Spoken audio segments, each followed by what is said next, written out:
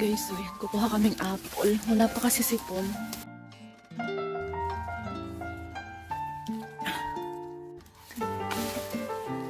Puro may butas guys yung apple. So pag may butas, kailangan ng itapon.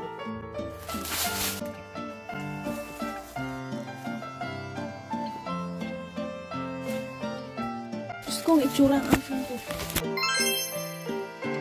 Guys, so yan, kukuha kaming apple. Wala pa kasi si Paul. Sabi niya sa kami dalawang kukuha. Eh, alauna na, aalis na siya mamaya. Makarating nun, magre-ready lang yun, aalis na siya. Yan. Si Bel tuloy ang kasama ko. Umuulan pa. Niintay din niya ako. Grabe, ang daming grapes. Malapit na kami magputi ng grapes. So, hindi makakauwi si Paul. So, kami lang mag-harvest. Dami ng grapes. Grapes.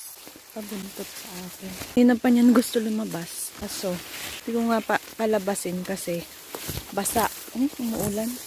Tawid tayo dito. Go, go.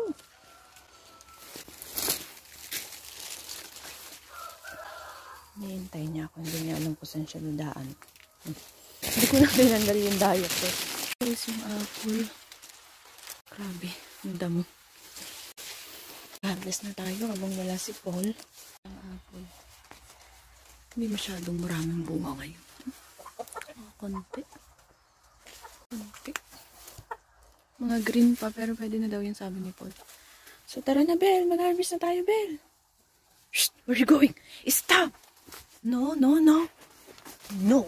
Stop it, stop it. Gusto niya pumunta dito sa chicken.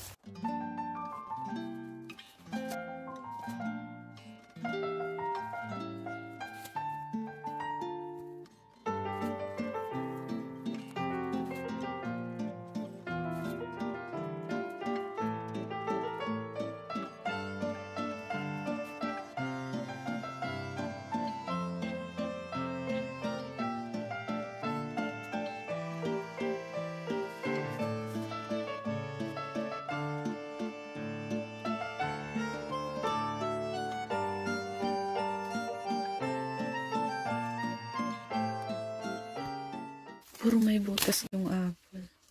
Kapag may butas, kailangan ng itapon. Hindi. Pwede po ba to? Pwede pa yan.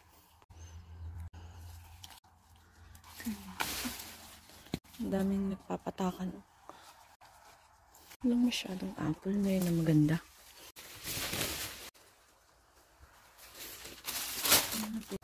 Bell.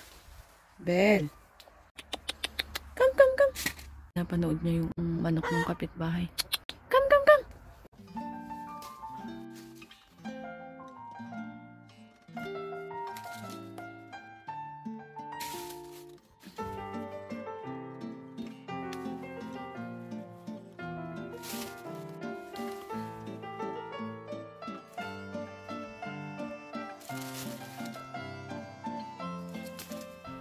Doon na tayo sa kabilang puno.